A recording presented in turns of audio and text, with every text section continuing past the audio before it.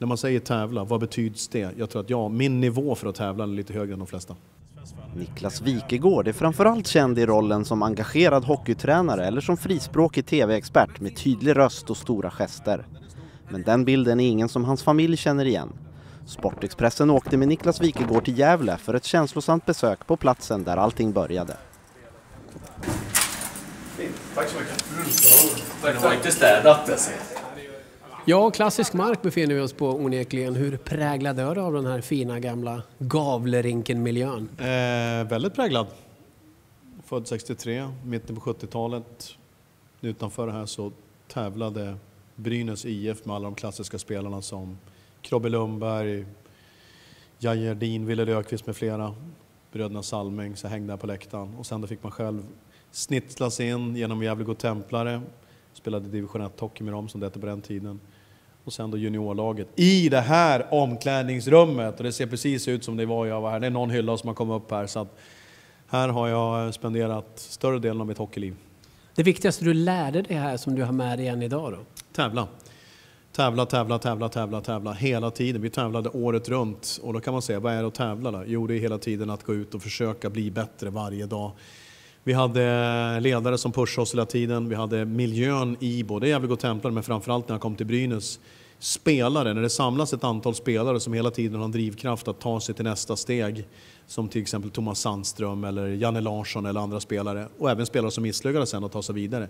Enormt tävling, på gränsen varje dag. Eh, präglat mig. Vad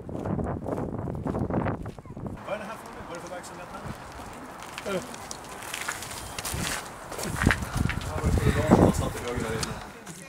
Sex års ålder till 17, 18 och sådär så var man här hela tiden. Och farsan gjorde klubbjackorna, pappa gjorde klubbjackorna också. Du får jättegärna. Ni Tack så mycket. Men det finns inga foton och sånt kvar? Nej. Ja, här small det ju bara i väggarna hela tiden. Väggen var ju liksom, det fanns så svenska mästerskap och det var allting som godtemplande var, det var ju här inne. Så det här var ju ett tungt rum och så var det mötesrum här. Förebilder är extremt viktigt också. Du måste berätta lite om din pappa som tyvärr gick bort nyligen och som betydde oerhört mycket för dig vad gällde stöttning och backning och hårda råd och hård kritik ibland. Ja, nej, pappa var bra. Pappa lyckades med konststycket. Jag hade bra föräldrar, både mamma och pappa. Men konststycket med att vara en bra kompis och en, eh, en tydlig pappa. Det betyder att när jag ringde min pappa, vilket jag gjorde ofta i samband med hockeymatcher och nu på senaste åren tv-sändningar, så eh, var det inte alltid pappa tyckte att jag var duktig. Och inte alltid pappa tyckte höll med mig vad jag sa heller. Så att eh, pappa var en sån person som sa vad han tyckte. Och det betyder att man fick då en råd som man kanske inte alltid tyckte om. Så jag saknar min pappa väldigt mycket. Och det är ju inte att vara elak på något sätt att komma med tuff och hård kritik, snarare tvärtom. Jag har inga problem med feedback. Jag tror att feedback för mig, det finns ju bara alltså, positiv feedback och negativ feedback. Men allting är ju någonting att handla om ständig utveckling. Så att jag tror att folk är ju alldeles för känsliga för det här med att, att man får någon typ av kritik som de säger. Kritik för mig det är ju feedback. Och eh, sen får, finns det ju olika sätt att lägga till feed, alltså kritiken på. Men om man tar den där och man kan sära på person och prestation så finns det ju ingen annan väg för utvecklingen att få feedback. När du själv var pojklagsspelare, juniorspelare, om du hade filmat och fuskat, vad hade pappa Arne sagt då?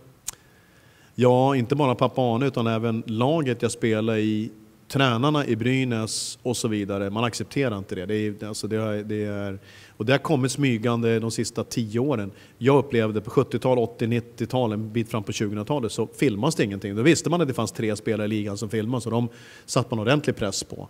Nu är det lite, leg, alltså det är lite legalt att få en smäll mot ansiktet, jag förstärker det så får jag med mig den här tvåan.